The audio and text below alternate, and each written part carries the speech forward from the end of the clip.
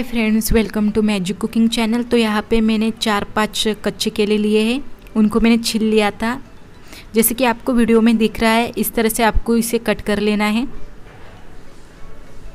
तो देखिए आपको क्यूब की तरह कट करना है बनाना को। तो सभी कच्चे केले को इस तरह से कट कर लीजिए।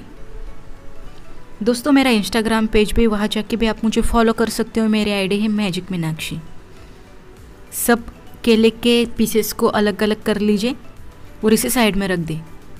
गैस पर रख दीजिए पैन। पैन में डालें दो चम्मच तेल।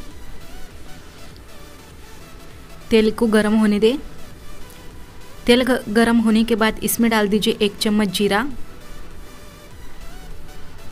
आप चाहे तो जीरा डाल सकते हो या स्किप भी कर सकते हो, कटा हुए केले।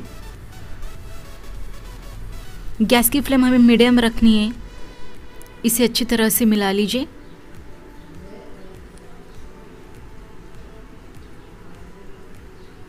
हमें इसे ढक्कन रखकर सात मिनट तक मीडियम हीट पर पकाना है। तो सात मिनट हो चुके हैं, ढक्कन को निकाल लीजिए और इसमें डाल दीजिए स्वाद अनुसार नमक। एक चम्मच लाल मिर्च पाउडर।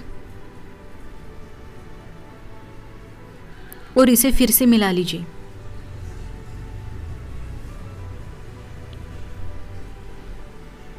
तो इसे मैंने अच्छी तरह से मिला लिया है। इसे ढक्कन रखकर और पाँच मिनट तक हमें पकने देना है। पाँच मिनट बाद ढक्कन को निकाल लीजिए और नींबू का रस डालिए।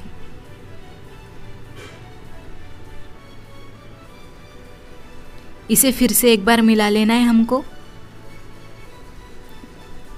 गैस की फ्लेम को कर दीजिए बंद और उपास की कच्चे केले की सब्ज़ी तैयार है। इसे गर्मा गर्म सर्व करें। Thank you for watching this video